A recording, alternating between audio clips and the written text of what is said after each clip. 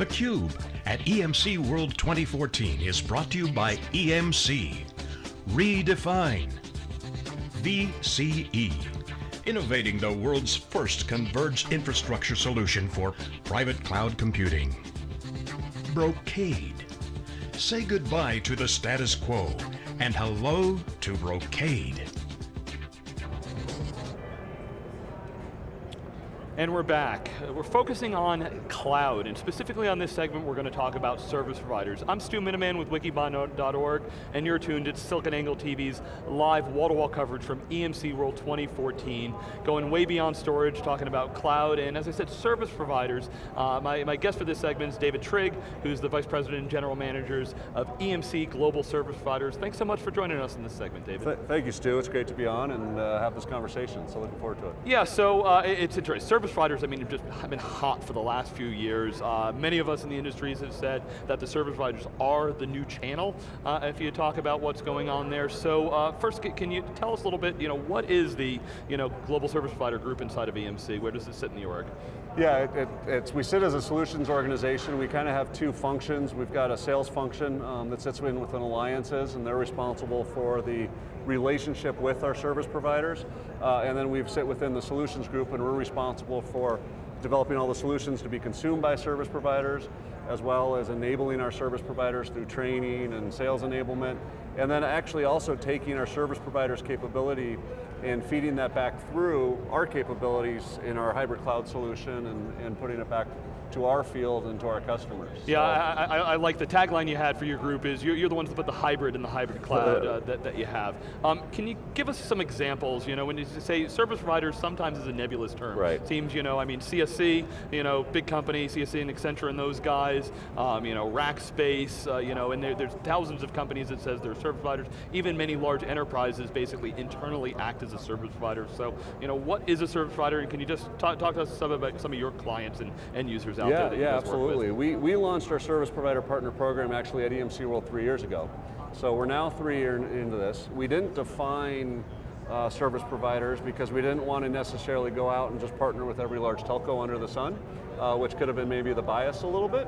Um, so we have officially in the last three years and gone out and partnered with about 100, a little bit over 100 service providers globally.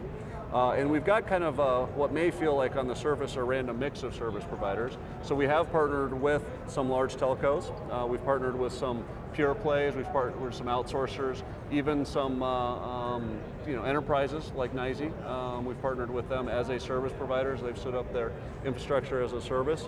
And we did that in a little bit of the spirit of learning, seeing what they were going to do, how they're going to define their market, and how does EMC really help enable them and as the market continues to grow, so we've got um, multiple partners in all categories, but you know, some of our best, Rackspace, Dimension Data, CSC, ones that we're starting to showcase some of their capabilities with our hybrid cloud capabilities that we're building here within EMC. Uh, and then obviously VCHS as part of the Federation's cloud um, is an important strategic uh, piece of what we're working on okay, as well. So, you know, I, I, want to dig into all those technologies, but before we do, you know, I'm just curious your perspective on, you know, the service provider market, because, you know, when you look at kind of the cloud space, you know, yeah. there, there's a few of what we would, some of us call kind of the web scale or hyperscale mega cloud guys. Right. I mean, you know, nobody's going to dispute, you know, Amazon's a big player out there, Google and Microsoft have their place out there. Um, then it, it's funny, everybody kind of throws stones, you know, some of these guys, uh, telco guys, oh, they're, or, you know, these are just hosting guys that are changing a new business yeah. model. Um, but as you said, you know, it's a broad spectrum of, of what's out there. Um, and some people think, you know, that underneath those big guys, you know, there might be a couple of dozen, and other people say there's going to be thousands of players out there. Yeah. Um, where do you see in the kind of that maturation of the service provider market? Um, you know, what, what, what's what's EMC's take right now as to? I mean, I know you want to partner with everyone, yeah. you know, large and small, but you know, just just what's if you, are you're, you're in this space, what, what's your take on this? And uh, you know, just put put, put your uh, crystal ball. Yeah, well, uh, first of all, I'm not an analyst, so yeah. I'm not in the job of making bold predictions, um, but I'm here to help EMC kind of navigate the changes. Um, so we are seeing today the market is obviously still relatively immature, I would say. You know, maybe we're in our adolescent years at this point, you know, we've kind of gone through, but we're kind of in our awkward adolescence. And right now what we're seeing is kind of a tale of, of two worlds, quite frankly. You, have the large scale service providers that can go kind of that hyperscale, can make the big investments. It's obviously not a poor man's game to, to play and participate in that. And then you really see the niche players, and, and they really have a specific niche, they serve a specific market, whether it's a specific geo, a specific technology, enabling a specific um, uh, support service or model. The ones that we see that are struggling are the kind of the ones that find themselves in between that world where they're having a hard time defining. I can't tell you how many service providers I've met with that said, hey, we're going to launch storage as a service. And I'm like, that's great, who are you going to target? And they're like, anyone that needs storage. And we're like, okay, good luck with that, right? You know, and those are the ones that are kind of struggling. Um, where it ultimately plays out, it's, it's going to be interesting. I think there will be obviously the large hyperscales, uh, although the market will continue to merge. Um, uh, and the, uh, the, the niche players I think will be there, but there's going to continue to be a fairly big expansion, probably followed a bit by a contraction, but I think the overall market's going to continue to grow fairly aggressively. Okay, so EMC's got a pretty broad, broad, portfolio, and then if we expand to the Federation, it, it's even more of that. So, right. you know, what, what, what, are the top things that you're partnering with service providers on? What what solutions out of the EMC or the broader Federation are the ones that are kind of hitting, hitting stride with some yeah, of these service yeah. providers? Well, our, our technology is, is very well enabled, obviously, as uh, especially some of the larger service providers are looking to get more and more into an enterprise grade capability and are trying to offer, offer a spectrum of services, whether it is a public cloud.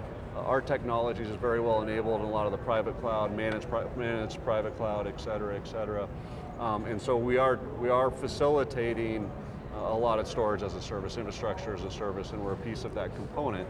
Um, but we're also starting to work, and if you saw, or hopefully saw from a lot of today's announcements, we're continuing to expand our product set and solution set um, so that we can better enable and allow service providers to stand up services much more rapidly, uh, manage their infrastructure over a longer period of time, and get a longer term return on investments. And that's something that we've learned a lot working with service providers.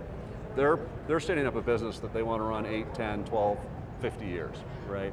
We're working with a lot of our enterprise customers, right? They understand it's a three-year kind of uh, renewal cycle. And so that's where we've, we've had to adjust and are making a lot of investments and key investments to help enable service providers. Okay, so how are those cloud providers really enabling the hybrid cloud? Um, well, right now it's, it's very much about um, a lot of pro services. Um, some of them that have done a good job have a little bit of, it's less about enablement of a true seamless, what I'd call hybrid cloud, that technology, we're just starting to get there. My, when, when, what we sometimes call federated, if I could have an application that spans, you're saying? Well, right? yeah, exactly, where we're starting to be able to actually do workload portability, right. workload mobility, uh, whatever, whatever term you want to use. Um, but what hybrid cloud has been is more of giving customers options and really choice about where they put their workload. So it's, hey, do you want to put it on your data center?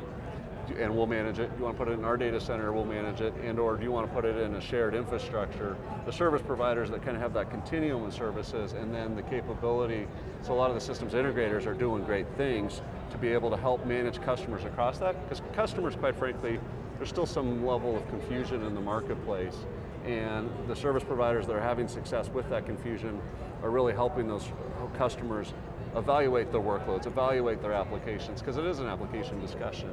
Um, and it's probably even before that, solving a business problem discussion, um, which service providers are getting better at, and, and quite frankly, the industry is getting better at. Yeah. So at the beginning of the segment, I, I, teed it up that many have looked at the service providers as a new channel opportunity, yep. especially if you look at kind of EMC's core storage products. Mm -hmm. So, you know, my understanding you've got like certification programs and, and things like that. Um, do you guys look at them as another, you know, go-to-market uh, solution, and how, how, do, how do you certify them, or yeah, you know, position them compared to kind of the traditional channel discussion? Right. When we went out and launched the partner program. Um, we, we look at them as a potential another channel, but we didn't want to treat them as a true reseller channel. So uh, we went in with a fairly strong foundation to build a relationship on, but we didn't go out with, you got to be certified, you got to be here, because again, we went in a little bit more of the spirit of learning. Um, but over that time, what we've learned, and we've partnered with about 100 service providers globally formally, doesn't mean there's a lot of other service providers that are building stuff on ours, um, and we've got about 500 services in the market based upon EMC technology with those 100 service providers. And then we've kind of basically just said anything that's on the table that you want to help with, will help. And so we put together a program and a structure to be able to help service providers, whatever that might mean, But now we're changing that a little bit as we need to go after and help support our customer base, because that was more of a general market play, right?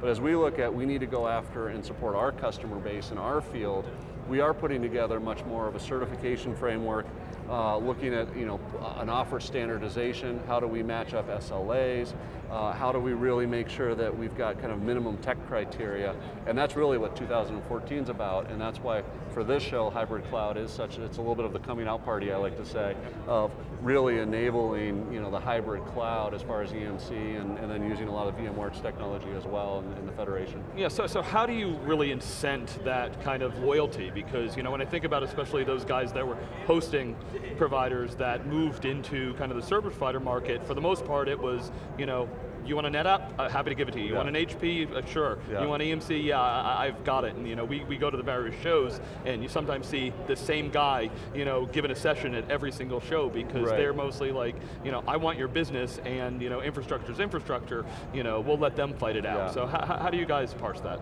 Well, we, it's been a lot of learnings over the years, and as we've looked at kind of really what EMC's strengths are, and we have some unbelievable strengths, uh, we've got unbelievable technology capability and unbelievable technology strength, but um, at the same point, we're competing every day for service provider business.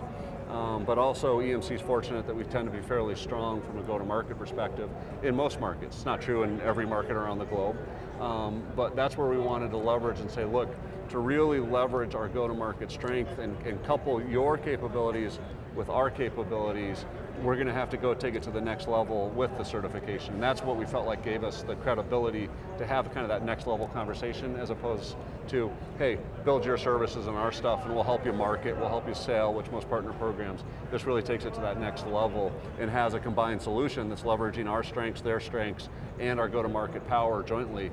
Uh, it really helps us kind of have that next level conversation. So you know, for a couple of years we heard Joe Tucci, you know, really say out there, you know, we are going to not compete with the service providers out there. If I look at the Federation as a whole now, well, you know, VCHS in many ways it can partner with service providers, but it can also compete, because right. they, they, they have, I can buy the services straight from VMware, and Pivotal seems to be, you know, blurring the line on some of that. Yeah. So, you know, what's the EMC line on that now, and, um, you know, is it okay to compete, uh, you know, as, as well as, you know, partner? Yeah, yeah, I, I, I think it is. If you look at the majority of, um, you know, players out in the marketplace, you know, most are taking a mixed model. Um, you know, VMware uh, has launched VCHS, and, and, I think they did it for the right reasons to improve their capabilities. Uh, they see a market opportunity, uh, see a way to actually accelerate the market. Uh, I'm less concerned about uh, competition than I am about market adoption and market awareness and really accelerating the market. Uh, for EMC, you know, II, the storage component, we've still maintained a fairly neutral that we are not going to become a service provider, but we're certainly taking an approach to market through VCHS and through our service providers. And um, you know, most of our service providers are seeing the opportunity more than the threat. Um, it doesn't mean there isn't a threat for some, but overall it's, I think, a very positive message that's being received fairly well once once it's understood and you're able to work it out and, and really go to market together. Yeah, uh, so, you know, last question, you know, if I look at the overall market, you know, the service provider market has been outpacing, you know, traditional IT spending by a significant amount. Yeah. Um, you know, you, you, read all the reports and everything, uh, you know, is this trend we expect to go on for a couple of years or, you know, when do we, do we hit a wall in the service provider market? Yeah, I think um, everything that we look at, it goes on at least in the you know, foreseeable future, you know, at least the next three, five years, it, it, certainly is going to continue. Um, you know, in our most recent uh, earnings uh, announcement, you know, we did make the statement that the service provider segment um, has been the fastest growing segment for the last eight quarters, so we're, we're, seeing success. We're outpacing the market, we believe, in the space. So, you know, I'm very proud of the team and, and the teams that are working with our service providers. Um, and if you look at the lines continuing to blur between what the telcos are doing uh, you know, what we're seeing in the SaaS ISV space and what cloud providers and you know, the more traditional infrastructure side, I think we got plenty of run, runway to continue. Uh, but there's also going to continue to be a maturity. Uh, the requirements are going to become more clear. The applications that it's supporting and how they support it, you know, the target markets, all of those things will continue to get refined and more focused over time. Uh, which is great. It will help all of us continue to compete and, and help support this market. All right, David, thank you so much for coming on theCUBE. Thank you so Appreciate, much. you know, Great to be here. congratulations on the success. Uh, service provider is definitely an area, you know, we're all keeping a close eye on and uh, definitely look forward to having you back again sometime. Appreciate your time. So, Thank you so Uh, much. we'll be right back with our next guest with the live coverage from SiliconANGLE TV at EMC World 2014 in Las Vegas.